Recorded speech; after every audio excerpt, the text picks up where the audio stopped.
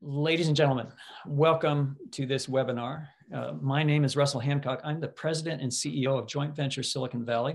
And I'm going to take just a moment to tell you about the organization in case you don't already know. Our mission is uh, to pursue the health and vitality of Silicon Valley as a region. We tackle those regional problems that are vexing to us. Uh, the way we do that is by convening Silicon Valley's leaders, uh, by engaging them in dialogue and discussion about uh, our challenges and our opportunities. We provide a steady stream of analysis and reporting uh, and data gathering through uh, our research arm. It's called the Silicon Valley Institute for Regional Studies. And then finally, we tackle problems. And we do that by uh, forming teams, working groups, blue ribbon panels, um, a task force, or by creating strategic alliances. So that's uh, that's who Joint Venture is. That's my role in the organization. I'm joined by a team of people at our organization that uh, have brought you this webinar and uh, oversee and execute all of the work that uh, that we do. Now, uh, you should understand that one of uh, the Bay Area's uh, continuing challenges is our transportation issues and our um, and, and the provision of public transit. Uh, this has long been a challenge for us, and that's what we're going to be talking about today, including what we see as some very possible and exciting uh, solutions. So let me begin by sharing my screen and uh, putting some things into context for us. Uh, this is Singapore. I had occasion to be in Singapore not long ago. And it's a very impressive city. Uh, you could call it a city state. That would be more accurate. And what's amazing about Singapore is the transportation. Uh, I use the public transportation system as everybody does. And uh, I'm telling you, it's just utterly fantastic. I couldn't believe how smooth, how slick, how easy, and how seamless it was. Uh, this gives you a sense of it. Uh, it's, uh, it's abundantly easy to understand where you are, where you're going. The signage is all terrific. It's uh, multimodal. It has, of course, heavy rail. It has light rail. It has uh, fabulous buses. You always know where the bus is. You always know when the bus will be arriving. Uh, the buses are high capacity. They're all set up with, uh, uh, with wireless uh, connectivity uh, and then transfers across all of these different platforms from heavy rail to light rail to the bus uh, to other forms is all uh, is actually easy and it's seamless. Paying, by the way, is also easy. Uh, you just uh, you just tap your card or your or your cell phone onto the device, and uh, there it is. You, you can just pay very simply. And it's a simple app that you download. The app is connected to your bank account. So you can even have it just uh, drawing directly from your bank account, even without the app.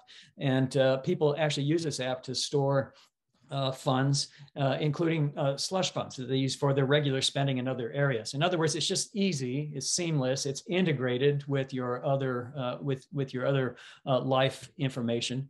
And uh, in Singapore, it, it just really couldn't be more easy. Uh, I also had occasion to go to Hong Kong. Hong Kong was the same thing. It was fabulous, absolutely fabulous. Uh, one interesting thing about Hong Kong is that uh, they, like San Francisco, have an enormous body of water uh, that defines their region.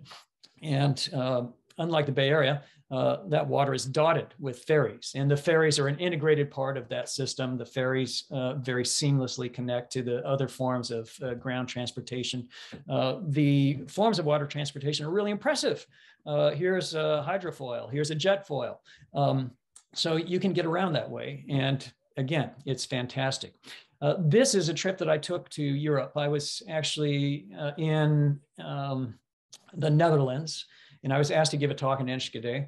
And so in Enschede, uh, when it was time to uh, when it was time to return, I hopped onto this train, and this train is amazing. It was uh, it was easy to it was easy to access. Again, uh, perfectly uh, seamless wireless connectivity the entire trip. Uh, at this station, at this train station, I checked my luggage all the way to San Francisco. In other words, I got onto this train, but I never touched my luggage again until I got off the plane at San Francisco. That's how seamless and effective it was. And um, it was uh, it was a fabulous uh, it was a fabulous journey. Now I want to tell you what happened to me when I got uh, to the other end. Uh, I wanted to continue my journey to home, so for, I needed to get from San Francisco to Palo Alto, where I live. And this is what uh, uh, this is this is what it looks like for us in the Bay Area. This is uh, 511.org, and I've dialed in my location and I dialed in my destination. And here's what has to happen. There I am now with my luggage, which I have claimed at uh, the baggage claim. I am now on the ground floor of the terminal. I need to get up to the sixth floor of the terminal to catch the uh, airport uh, transit system, which delivered me to BART. Uh, so I had to negotiate elevators and escalators to get up to that, uh, up to the sixth level, and then uh, board that rail system over to the BART platform. Then I had to get off and I had to navigate the BART system. I had to buy a BART ticket. By the way, the signage in the airport wasn't great. I actually had to ask people uh, how to find this thing, and um, it, it, it, wasn't uh, it wasn't self-explanatory. I'll just make that observation. Um, now it's time to get onto the BART. Uh, BART needs to connect to Millbrae, which is just about two thirds of a mile south of the airport. There's a fabulous intermodal station that we constructed uh, and there at Millbrae, you can catch Caltrain to go uh, to con continue your journey south towards Palo Alto and beyond. Well, guess what? You can't go from the airport directly to Millbrae. It's not possible. Um, you have to actually get onto a northbound uh, BART train. And I had to wait uh, several minutes for that train. It took me to San Bruno in San Bruno, you have to get off, you have to navigate an escalator up, and then you have to navigate an escalator down, and then wait another 20 minutes for the southbound BART, which then took me to the Millbrae station. Uh, by the way, here's the, uh, I don't know if you can see it on the slide, but these are the directions that 511 gave to me. And it says interesting things like um, uh, arrive at San Bruno, then it says walk to San Bruno. What does that mean? I couldn't figure out what that meant. And then uh, you continue your journey to Millbrae, and then it says walk to Millbrae. What does that mean? I couldn't. I couldn't understand it. It wasn't easily understandable to me. Uh, in time, I figured it out and continued my journey. Now, here's the last interesting thing. So now I have disboarded uh, BART, and it, I now need to catch the Caltrain. Um, that requires leaving the BART system. So again, going down escalators, uh, going over ramps uh, with my baggage, by the way, I'm carrying baggage. And uh, now I have to enter the Caltrain system and I have to buy a Caltrain ticket. Uh, and I had to figure out where those machines were, how to put the money in. And uh, the transfer was not easy and it was not seamless. And, and um, uh, I, had to uh, I had to enter money into a different paying system with different paywalls and and different uh, protocols. Then uh, I boarded my uh, southbound train and finally arrived in Palo Alto. So this, my friends, is how transit works in the Bay Area. It couldn't be more highly contrasting to the seamless systems that I experienced on that same journey in places like Europe or places like Asia. Now, the observation I want to make is that San Francisco, the Bay Area for that matter, is a world class destination. Uh, our peers, our colleagues on the world scene are, in fact, Singapore and Hong Kong and um, the capitals of Europe and, and, and so on and so forth. But we don't act like it uh, we don't look like it on uh, in the realm of transit. That's not uh, what the user experience feels like. In fact, if you are like I was committed to taking your journey by transit uh, from San Francisco to the airport to Palo Alto, you have to work very hard at it. It takes a tremendous amount of commitment and um, and it takes some wherewithal, uh, mental, psychological, and otherwise. In other words, it's not easy. We haven't made it easy uh, on, on the users in the, in the Bay Area. Um, uh, I've had similar experiences with the San Jose airport, by the way. Uh, I, I, won't go into that. I want to leave time for my colleague, Ian, who I'm going to introduce in a moment. But here's one reason uh, why it's difficult in the Bay Area. Uh, we have not a, a, not just a few transit operators. We actually have 27 of them Um, that is a very big number. And these 27 operators are all working within their spheres and very hardworking, we should add. Uh, they're doing the very best that they can. They're delivering uh, transit within their realm of responsibility. Uh, but they do not have a clarion call to work collaboratively. They don't have a framework to work collaboratively with the other operators. So what we get is their willingness to collaborate uh, in uh, a handful of one-off kinds of arrangements. Uh, so some of them will get together and they'll try to figure out a transfer system or how to have maybe a unified ticketing operation. But that's happening in one-off combinations and it's not happening in a system-wide way uh, or in a way that is uh, unified, seamless, or integrated. That's not happening, and nor should we expect it to. That's not how uh, that's not how discrete operators behave. Uh, for discrete operators to behave in a unified fashion, that takes something else. That takes uh, some overarching framework. Uh, they have to be incorporated into something that's bigger than themselves. And that's actually what we are proposing for the Bay Area. We think we need to figure that out. And we think we have figured it out. We think we see the way forward. So let me simply conclude by telling you this. Uh, these are not opinions. Uh, these are facts. The Bay Area system, by comparison to our peers, is fragmented. It is uncoordinated. It's very difficult to na navigate. It's highly inefficient, and uh, it's not particularly equitable, especially when you think about the members of our community whose life is dependent is dependent upon these uh, transit uh, systems.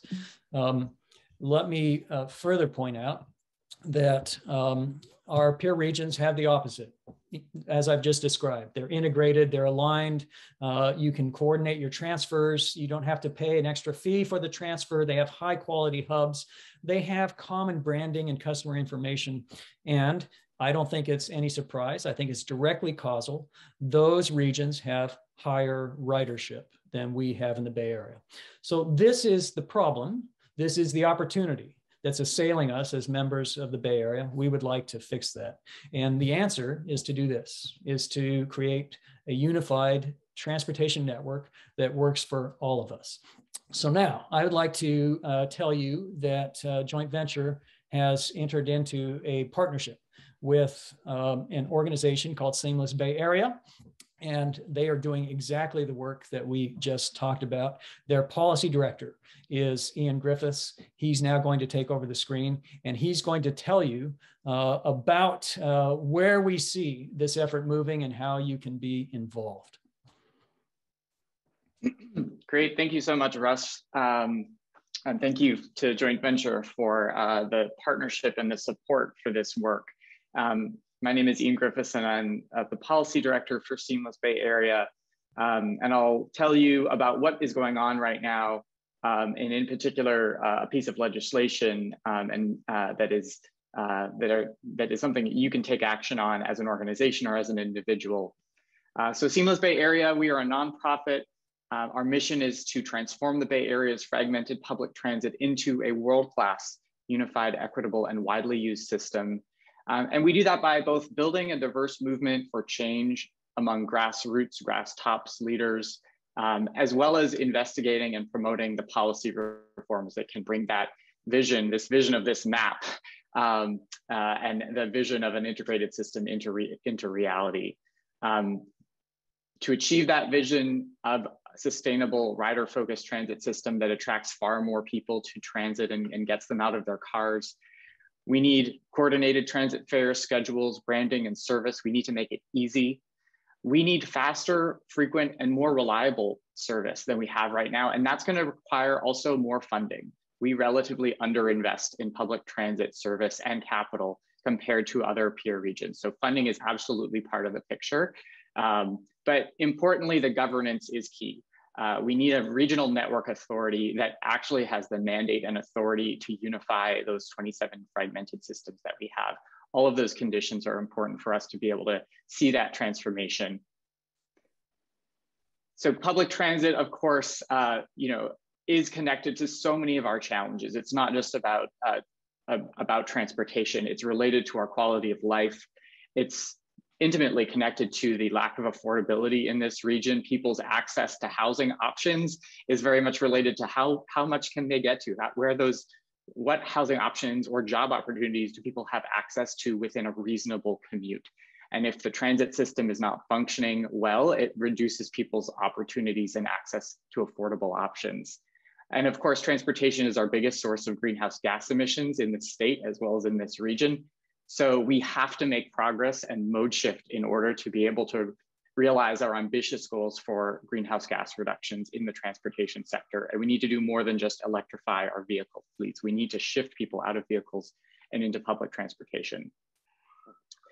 We don't have a great track record over the past several decades. And even prior to COVID, the transit system was not keeping up in the Bay Area, even though many, we think it should be the backbone of our transportation network. So ridership was going down between 2001 and 2016 on a per capita basis. Bus average bus speeds were going down, average commute times were going up. Um, and because of COVID, of course, the situation is much more dire. We've seen uh, even more drastic decreases in ridership. So our challenge to not only reverse the trajectory of COVID, but actually get on a positive growth trajectory is, is, is very, very uh, significant we talk to people all the time about why they're not using transit or if they even want to use public transit. And I'd say the average response we hear when we talk to members of the public from all over the region, from all walks of life, is that people want to take transit more. They really would use it if it was a convenient and reliable option. But so often people say that they don't use it because it's just too difficult. It, it takes too long.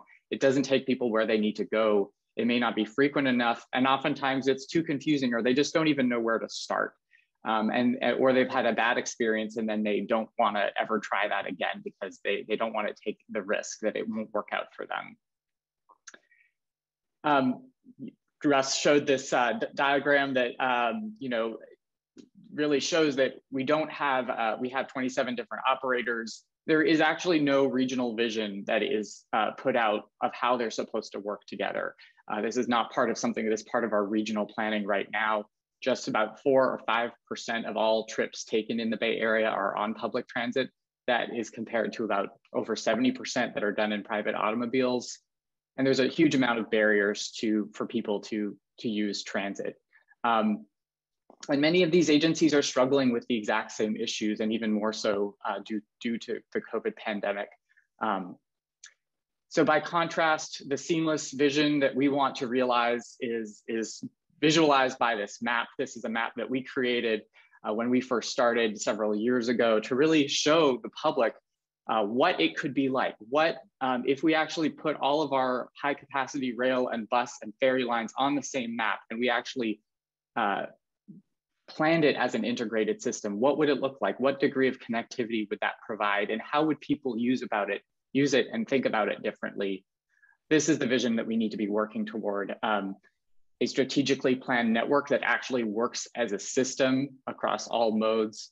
This requires that transit agencies, and there may continue to be many of them, we don't, merging all the 27 agencies into one is not the, uh, not the only way of achieving this vision of seamlessness, but those seams need to be invisible to the user. And that requires that certain aspects of public transit be standardized to be consistent, service quality, fares, schedules, wayfinding, signage need to be as simple and reliable as possible for users.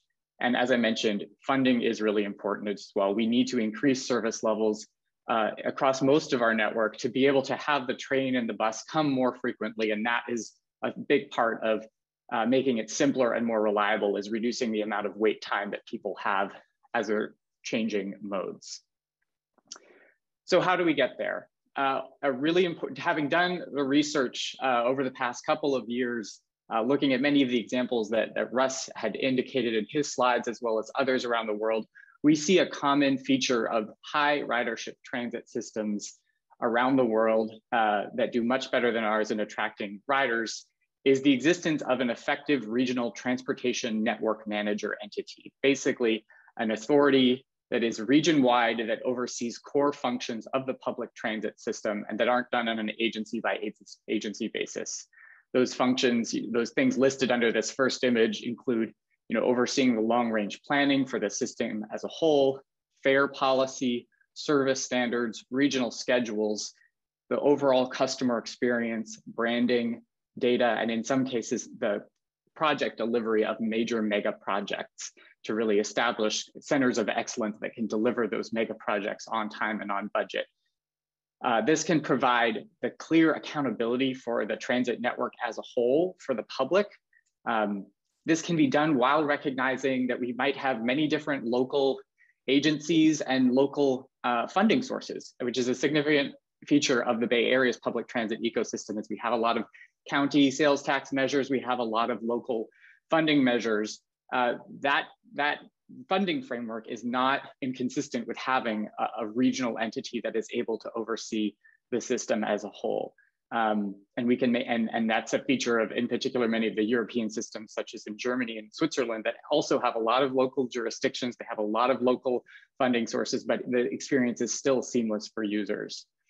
Um, and we have, you know, on the bottom here are some examples of, of, some, of some of the, the examples from around the world that we've looked at.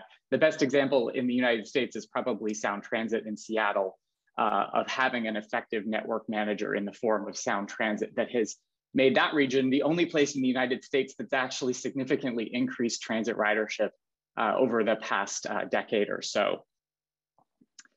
So what has Seamless been doing to make progress on this issue? I'll talk about a couple of the initiatives and I'll, and I'll end with the particular piece of legislation that's in the state legislature right now and how you can help. So we've been working since 2018, since we started this group, um, to really grow a movement. We know we need riders from all parts of the world. We need, uh, this, is, this, this type of change would affect a lot of different, different institutions, but it's enormously popular. So part of succeeding is showing just how uh, broadly supported these reforms are. So we've used something called the seamless transit principles to build broad political and grassroots support for this vision of seamless transit.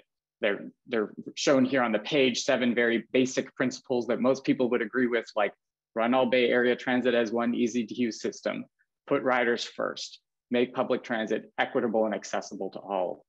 And at this point, we now have over 91 groups that have endorsed these principles, uh, joint venture being, of course, uh, a, a, recent endorser of these. Uh, we have 22 public agencies, um, the city of San Jose, very recently, the county of Santa Clara, uh, a dozen or more than a dozen other cities, including Oakland, Berkeley, East Palo Alto, Fremont, um, even some transit agencies, including the BART board, unanimously adopted these principles, the Ferry Authority, and then the groups across the political spectrum, housing groups, uh, business groups, labor groups, environmental groups. This is showing that this is not a controversial issue at all. This is something that is very, very broadly supported. Um, oops. Uh, okay, uh, another thing that's been going on is um, there's been, due to our advocacy and the advocacy of other allied groups, there's been a focused study on one particular aspects of, of integration, which is integrated transit fares, which is a significant source of revenue for transit agencies and a core to uh, having a seamless system. So there's been an important study that's been underway since 20, uh, 2019 in this region that was adopted by our region's transit agencies in 2021 that actually recommended for the first time some really innovative steps uh, to create a, a multi-agency pass for riders that will be available this summer on a pilot basis uh, that will allow someone to purchase a pass for the first time that actually gives them unlimited access to you know all the transit systems for one price for, for the month or for, for even a day. That's only going to be on a pilot basis, however. Um, it's also, uh, they're also gonna be rolling out free transfers between agencies in 2023. So there's some incremental steps happening that, that we're really, really pleased with. However, the longer term, more significant steps like a regional, a standard fare region-wide uh, or a standard distance-based fare for our regional providers, which was shown to have huge benefits for the public, as well as the rollout of that multi-agency pass for members of the public while those steps were recommended, there's no deadline for getting them done. And there's still some uncertainty as to you know whether whether whether they're going to actually happen based on just based on going through the regional studies that we have going on right now. Uh, and the image on the right is a, is a map that we created that really we used as a, a tool to build awareness and support for what a zone-based uh, system that covered the whole Bay Area could look like and how that would transform uh, people's access. We've worked um, very hard over the past several years to build the political will to do something about this and the political leadership um, to, to match that grassroots support that we've also been working on. So since 2018, uh, we've worked especially closely with uh, former Assemblyman uh, David Chiu, uh, who represented San Francisco on a couple of different pieces of legislation that would bring about a network manager. Um, the first bill in 2020 was a task force bill that would have created a focused task force to study this issue of governance on how we get to a network manager and what the right way of setting it up is. Of course, that 2020 was uh, the COVID-19 pandemic. So like many bills that did not move forward, but even the introduction of that bill and the extremely positive response that it got across the region meant that even though the bill did not move forward, the MTC and, and leaders in the Bay Area actually chose to create something else called the Blue Ribbon Transit Recovery Task Force uh, to not only uh, address the challenges of the COVID-19 pandemic on transit, but to make sure that we fundamentally use this time and this disruption to rebuild transit in a way that's more connected than the system that we had before COVID. You know, we don't want to just re rebuild that very fragmented system that we had before, but let's uh, but the task force was tasked with understanding the sets of issues that need to be addressed to set us on a much better trajectory moving forward. Um, now we are working with, because Assembly Member Chiu has now moved on to uh, city attorney's position in San Francisco, we're really pleased to be working with uh, Senator Josh Becker. Um, and he has taken the mantle and introduced a bill uh, that we are co-sponsoring alongside joint venture Transform uh, Bay Area Council and Silicon Valley Leadership Group called the Seamless Transit Transformation Act. And I'll talk a little bit more about that particular piece of legislation. Uh, but, but first, um, the, I want to mention a couple more things about the Blue Ribbon Task Force and this Transformation Action Plan, because it's actually the basis for this legislation that we've that we're all working on together to try to pass. So after the pandemic, when this task force was created, uh, Seamless was invited to be on the task force, as was David Chiu, as were political leaders, general general managers of all the largest transit agencies and nonprofit groups and, and advocacy groups and labor groups from across the region. Um, it was a really uh, unique uh, coming together of, of, people from all work, walks of life to develop a common vision. And uh, it's really the basis for how we should move forward. It for the first time it adopted this vision of a of a unified system of unified service fares schedules customer information. That is now an officially adopted plan that our region has bought into um, and that general managers of individual transit agencies have bought into.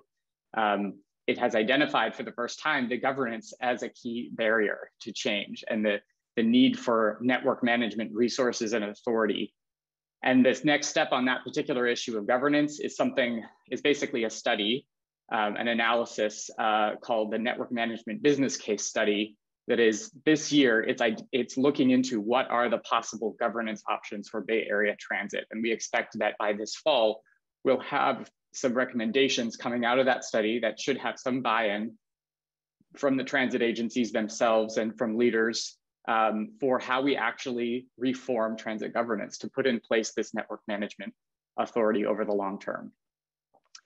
Uh, it also identified among its 27 actions uh, a number of different low-hanging fruit steps that we can take over the next couple of years. Um, and that's really the focus of SB 917, the bill, is, is focusing on those things that we can accomplish within the next two to three years that can actually make incremental progress uh, that aren't dependent on us having the network manager, the broad, you know, long-term governance reform, which is still important, but we want to make sure that we actually deliver on some of those key deadlines that were set regarding integrated fares, branding and wayfinding, and developing an integrated service plan. Uh, so before I talk about uh, just before 917, this is overwhelmingly popular and something that has also happened in the past years. We've had some very good, reliable professional polling on just how popular these provisions are by the public. And this has been very significant to build the political will to do something. So this poll was uh, done based on uh, people's attitudes towards AB 9, uh, 629, which was a bill, the second bill that Assemblymember Chiu introduced last year that had many of the same objectives of 917. Um, and you can see just overwhelming support, almost 90% in every single part of the region. Um, so this is something, and, and especially strong among regular transit riders, but also among uh, non-transit riders for this, this vision of a seamless system. So this is key to building the public support uh, for people's continued desire to invest and fund public transit. This is what people want the, the outcome to be of their investments in public transit system, in, in the public transit network. So SB 917, just a couple more details about what specifically this bill does. Um, and it's and it's being co-authored by uh, by about seven people in the Senate and the Assembly, in addition to the main author Becker. Um, it, what it does is it sets near-term deadlines for MTC, the region's existing uh, transportation uh, planning authority, albeit one that has limited powers, but it still can do certain things. So it's, it's setting deadlines for MTC to develop in consultation with the region's transit agencies. Um, first, a connected network plan by 2024, which is basically a service vision of what is our vision of how we should be running service in the Bay Area uh, the key hubs, the key transit corridors, the levels of service that actually work logically together as a system.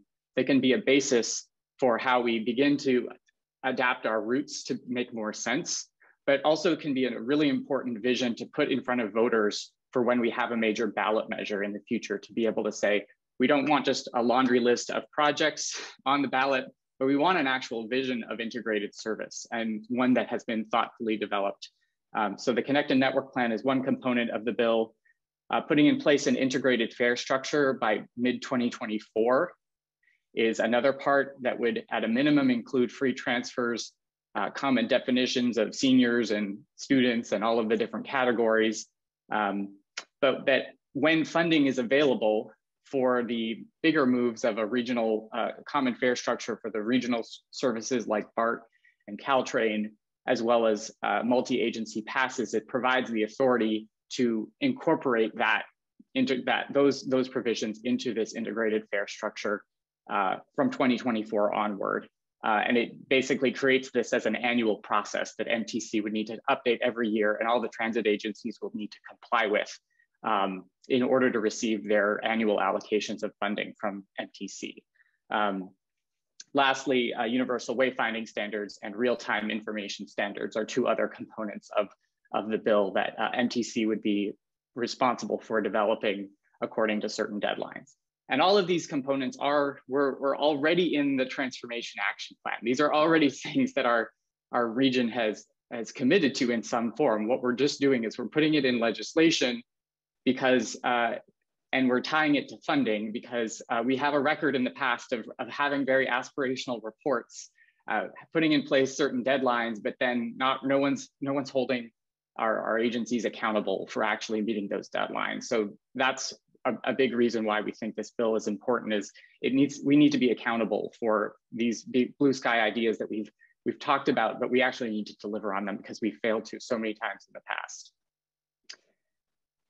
And then in the broader context of what happens after SB 917, uh, just to show um, this timeline in, in white, you know, we have a number of the studies that have already gone in these white boxes are a number of the studies that are that have been going on or are now concluded, like the Blue Ribbon Task Force, like the Fare Integration Study. Um, we have the upcoming network management business case that I mentioned that's happening this year that's looking at the broader governance issue. There's a couple of other studies going on in our region SB 917, of course, is a is a is a is a legislative step that we can take this year to really strengthen our our transit integration timeline and really get to those deadlines around integrated service wayfinding and fares. But 2023 is going to be a really important year for all other legislation, including legislation that could actually create that governance reform permanently and create desi designate the network manager for the Bay Area. And that could include the bringing together of, of some of our existing transit agencies under one roof, or it could, it could look like you know, altering the look and feel of, of MTC to, to have be a different type of agency that has a different set of mandates. All of those options are being studied right now, but there's going to be the need for even more political support for that legislation in 2023. And then the last thing I'll point out is we do we are even more urgently in need of funding for public transit. We were before the pandemic for increasing service, but due to rider the impact of COVID on, on transit agencies, most transit agencies in the Bay Area are, are looking at a major fiscal deficit uh, that will come in 2024 2025 when a lot of the federal aid has run out. So we really need to um, look at having a ballot measure in the near future. We think 2024 is, is the right time to do that. Um, but that's but to get the voters to vote for such a measure, we need to offer them a compelling vision of what they're actually going to be voting for. And we think that the vision of a seamless system and being able to show progress on some of these integrated programs is going to be an important uh, uh, way of building the confidence and the public support for a major regional funding measure. Okay, my last uh, slide here. How can you help? And then I'm happy to take questions and uh, discuss this further with you all and, and with Russ so first of all, um, yeah, you can absolutely help, and we need your help to make this all happen because Seamless um, is is it's a group and it's a community, and it's uh, it's building off of thousands of people all across the Bay Area who have taken some kind of action uh, to be able to build the type of and the scale of the political and grassroots support that we have right now. So the very first thing, if you are not already on our mailing list, I'd ask you to do that right now because that is how you can stay informed there's going to uh, over the next number of years, and there are going to be many, many times where we're going to need your help in different ways, depending on who you are. Um, so please sign up at seamlessbayarea.org, and we'll be keeping you informed of those opportunities. We don't send out that many emails, maybe two a month or so, and they're always packed with really relevant information about how you can take actionable change. If you represent an organization or a public agency, uh, if you sit on a transit board or a city's city council, um, you can submit a support letter for SB 917, or, or even if you need a public agency, you can adopt a support position for SB 917.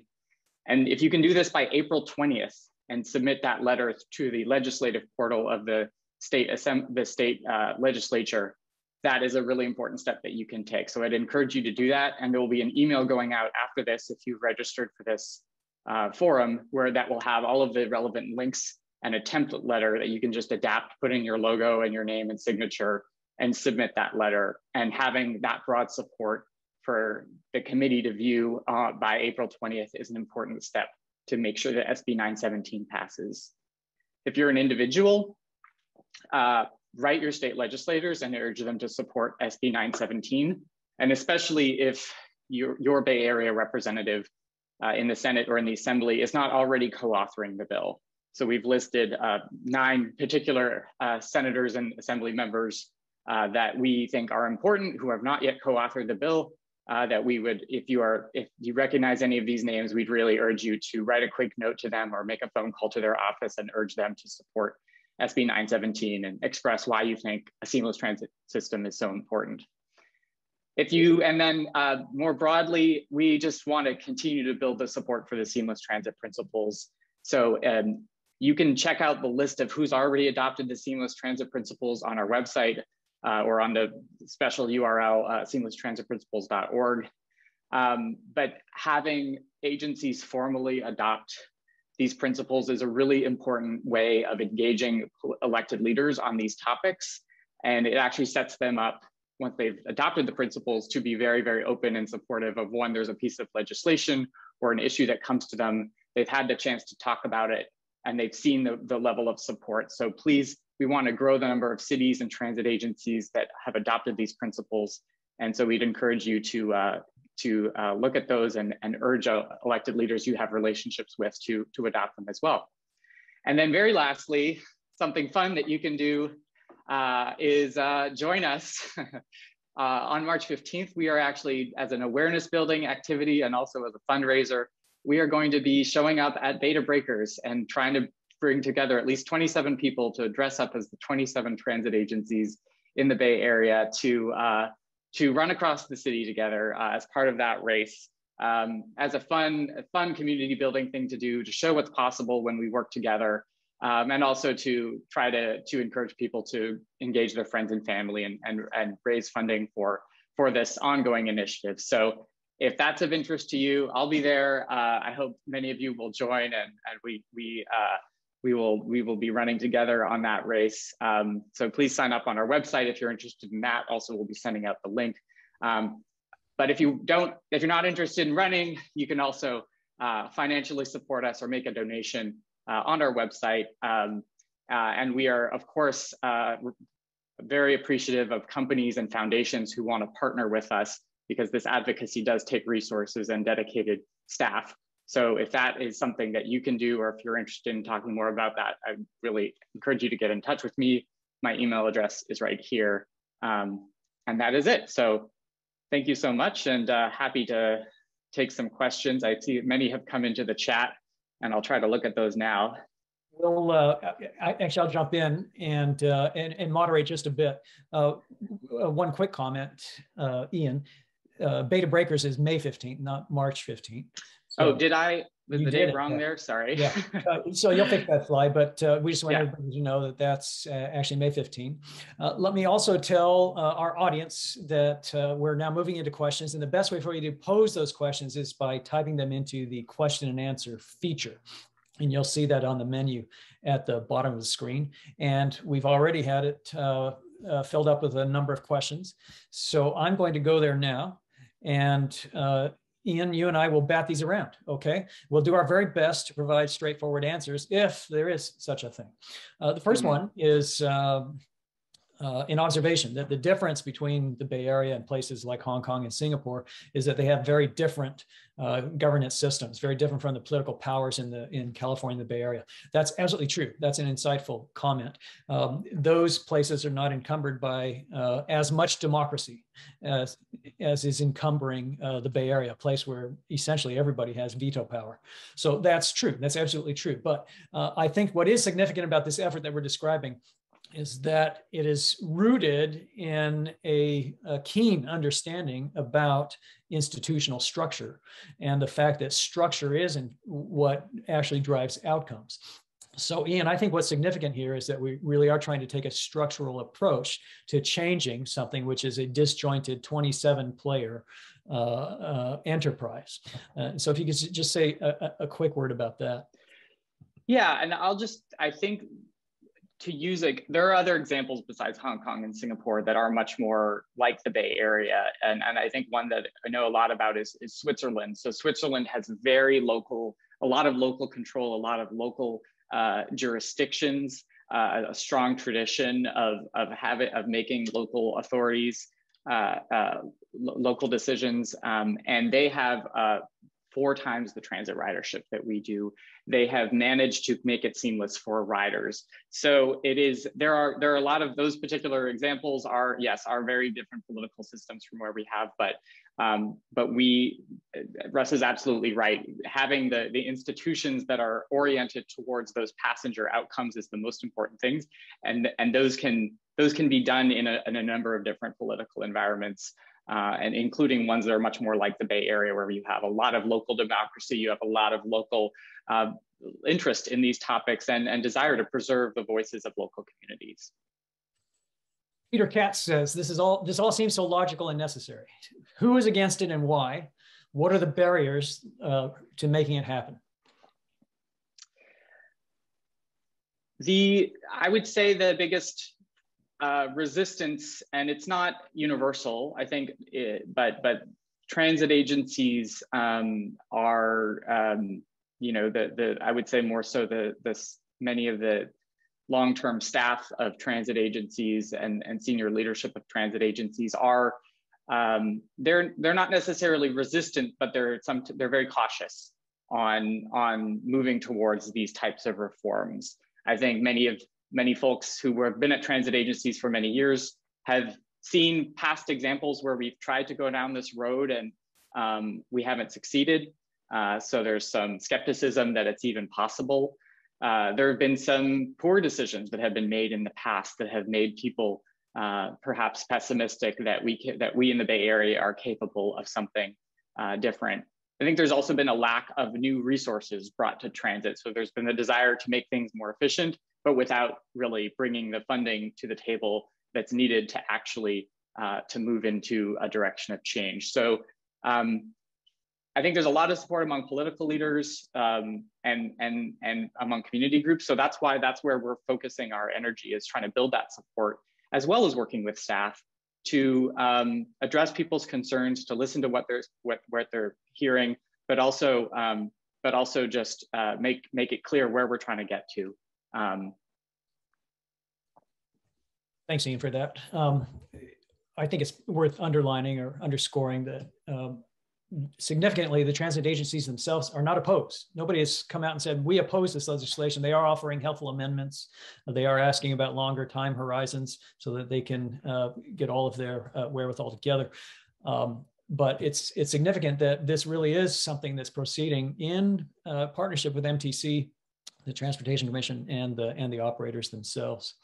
Uh, ben Falter says, how do we address the reliability of our transit systems? I see this part of being seamless. Nobody wants to connect agencies that are all running delays with poor communications to riders. I've been in many countries with much less infrastructure and there are not such delays. Uh, that's a hard problem, but uh, and Seamless doesn't address it directly, but indirectly, absolutely. Would, would you agree, Ian?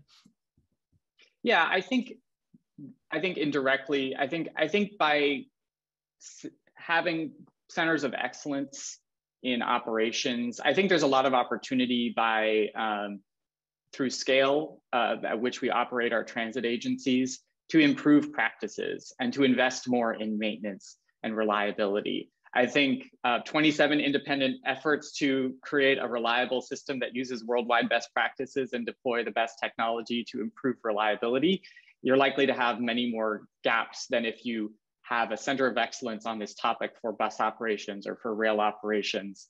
Um, so I think that that is part of the reform set the outcomes that we want to see with reforms, maybe not directly done by the network manager, by but by other uh, types of reforms that might be part of, uh, uh, including in possible consolidations or the creation of a center of excellence for transit operations and reliability. Um, those are that's absolutely going to be critical to improving the faith in that customers uh, can rely on public transit. Dennis Jaramillo says, would an increase, he asks, would an increase in ridership cover the additional cost for more frequent transit vehicles? Um, you know, uh, I suspect most people understand this, but just to clarify, uh, transit doesn't pay for itself. It almost never has. Uh, they refer to what's called the fare box recovery ratio. In other words, how much of how much of the operation does the fares received cover? And uh, in the Bay Area, BART has the highest fare box recovery ratio. And guess what it is? It's, uh, I think it's in the 60s. Am, am, I right, Ian? It's about 60, 60%. 70s, yeah. I mean, this is all pre COVID. And Caltrain's up there as well. Uh, yeah. 70s. Exactly. Yeah. Uh, but in the Bay Area, we have other operators who are down in the 30s and, and, and, and even less. Uh, so the premise is never that the fare box will cover transit uh, operations. there have to be other funds as well. And that's uh, one reason this is always such a struggle. And of course, one reason why we're looking for additional efficiencies by uh, accomplishing these kinds of integrations. Anything to add to that, Ian? Just that um, with integration, um, there, there are, there are the, once you get to a certain level of service, there are, um, uh, it's a virtuous cycle. It can be a virtuous cycle of you, of you put out more service. It's really great. That attracts more riders the buses fill up or the trains fill up and you need more service and you can actually increase the amount of uh, through through increasing ridership you can actually uh, justify putting out more service and oftentimes bring in more fare box than we have right now and the most effective systems in, in Europe and Hong Kong actually have much higher uh, amounts of fare revenue that are coming into the system because they just provide much higher quality service. But to get there, we have to invest more. So yeah, ultimately there are there are uh, returns that we can get that can help us, you know, fund even more service. But um, but it, it isn't as simple as just, uh, you know, I think where we're at right now, in particular, the hole that we're trying to dig ourselves out of with COVID, uh, there is there is absolutely the need for to to invest in the system prior to us being able to see the returns on that investment of, of increased ridership and fare revenue. Cynthia Ruby asks if there's the possibility of BART extending through Atherton or along 101 or 280. Um, Cynthia, that would be a miracle. Uh, that would be an absolute miracle. And my answer to your question is to say that we need to work on one miracle at a time. And uh, so the, the prior miracle will be getting BART into San Jose. And that project is underway. It has funding. It doesn't have full funding, but it, it's, uh, it's, it's fully underway. And that clearly is the first step to take before we talk about other forms of, uh, of BART extensions. Ian, anything else?